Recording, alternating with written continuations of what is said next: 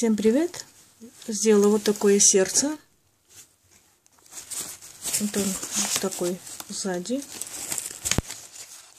Скоро будет мастер-класс.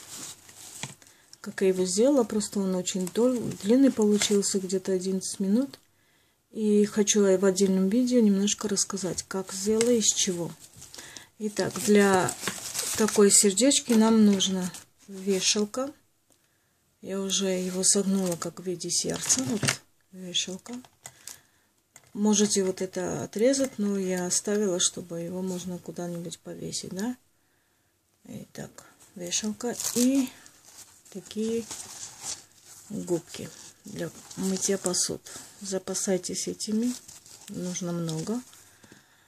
И нужно еще, еще нужно розы. В моем случае эти розы из фома. Ушло 15 роз. Листики вот такие. Можете вы делать из атласных лет, тычинки. Можете их не ставить. Смотрите уже сами. Тут бантик какой-то прицепил, не знаю. Можете и делать, можете нет. Вот. Обмотала тут теп-лентой.